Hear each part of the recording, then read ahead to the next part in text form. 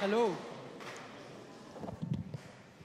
First of all, thank you very much, Corina and team, my friends, and you lovely audience. Hope is such a powerful word that gives us courage to believe that everything going to be all right. I will introduce you one person. His name is Santosh. He is from India, and by profession, he is an engineer. You see, he always smiles, and his passion is to be simple. Something miracle happened. In, in 2019 April, he got severe pain in his chest. He got admitted to hospital. Immediately, in couple of hours, he got operated. Even in that pain, he is smiling and cracking joke that he becomes Iron Man, the wares coming out of his body. No wonder this person is my uncle. Extreme la- left is me, laughing without no reason. So this is not common with my uncle only. There are many people, they suffer this disease where the loss of the tissue never regenerate. They live with the same pain and scare throughout the life. It's same with the Parkinson disease, the accident when it happened to the spinal cord, the diabetes, the loss of vision, they never come back. Also, with the other organs, when they fail, there is substitutes. Our technology advanced, but we cannot regenerate the cells. In that point of darkness, when we think for a hope, the stem cells comes. The stem cells comes as an hope where you can think if we can regenerate the tissues back, the person will be normal. The function of the organs will be normal. Now, the stem cell, to understand the stem cells, we really have to go back to understand where the stem cells actually come from.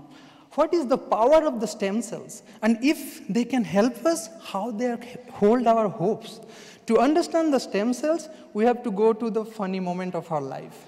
We, everybody, man and woman, when we met, we go through this procedure. And that moment, our sperm races toward the egg.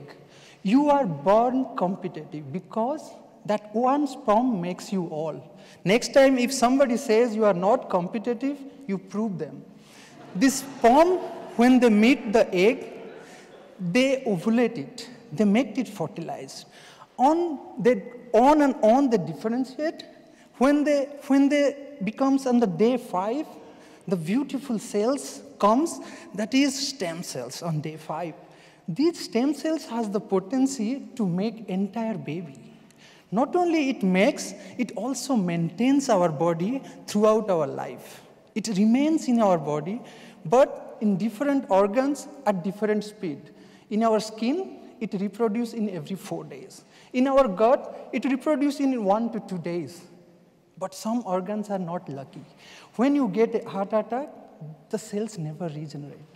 The person with lives with the same scar and pain till the date end.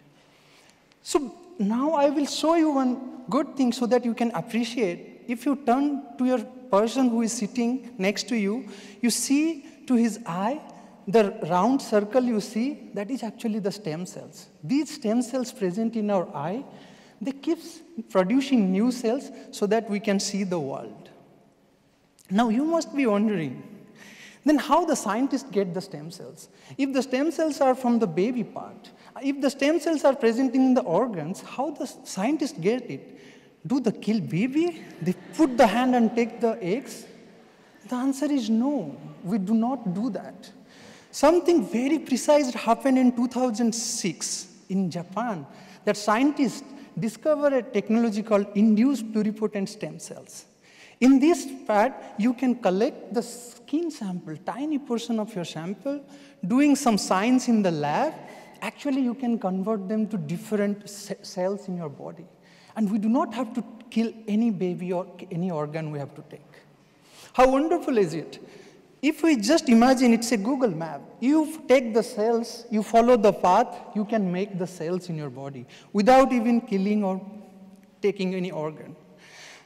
You know, I come from India.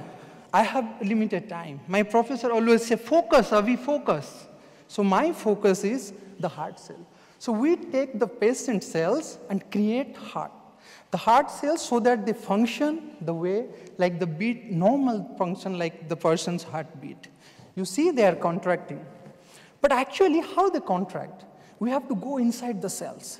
So when you see a cells, they are contracting. But when we go inside of the cells, we see there is a spring-like structure around the heart cells. And these spring-like structures are present in our each heart cell. When we go a little more, we will see this spring-like structure have a very definitive pattern. They present in an anchor way. When there is a small molecule called calcium comes inside the cell and sits, there is a contraction, and you missed it. Let's see it again. So when the calcium sits, there is a contraction. Let's go back to how the whole cell look.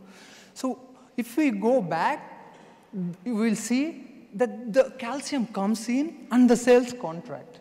You want to see now the real, how the things are happening, how the bands looks like, how the calcium's moving. We create from the patient the cells and they look like this. You see the bands, they are contracting. Same pattern like the person's heart is beating inside.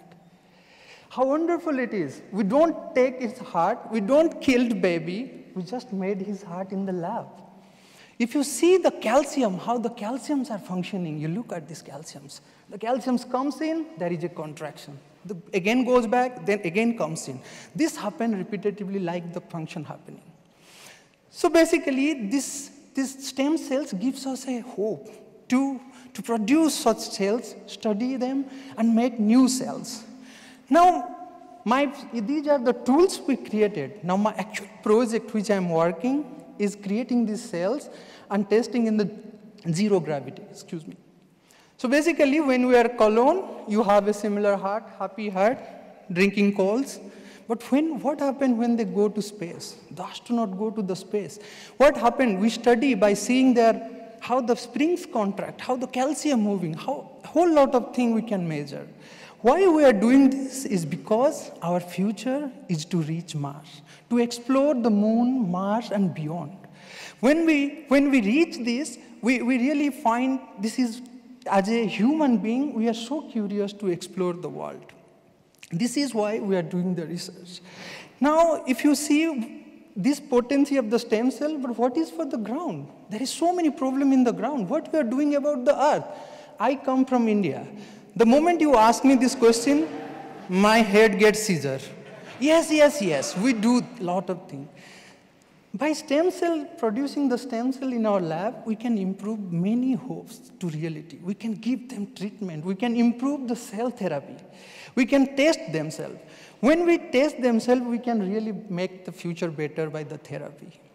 And it is not only about the therapy, it is about personalizing medicines. Just imagine, is when you check your phone and your friend's phone, does the, the songs you have, the friend like the same songs? No. Why do your friend will react to the same medicine? When we study your cells, your organ cells in lab, we can customize your medicines. We can give you the medicine which is less side effect to you. How wonderful will be our future when we are be healthy. It's not only about when we study your cells, human cells, each individual cells, why do we need animals? We can reduce the animal, we can reduce the carbon footprint of the world. When we reduce the animals, the topic which talk, I'm going to talk is very emotional to me. We as a human, we lost the last male rhino from our planet. And how painful, how smart we can say to ourselves when we cannot preserve our ecosystem. Now stem cells comes as a hope for these extinct animals where we are trying to create the sperm cells, not me, but the scientists in the USA, they're trying to create the sperm cells and re-inject back to the female rhino which is present so that we can revive the extinct animals. So this is what the hopes it holds. Now coming back to the point how my uncle is suffering, it is not about my uncle. There is 30% of our population is suffer from the heart attack. This month, 3rd June, the beautiful thing happened they actually created the stem cells, they created the patch, and it went to the clinical trial. how it passes all the lab tests. When we, the stem cell patch go, it can regenerate the heart cells so that it can make new. So this is a major achievement for the stem cells to, to see our hope is become reality. And at the last, I can say we all started with the hope. Let's keep our hope alive and convert them to happiness. Thank you very much.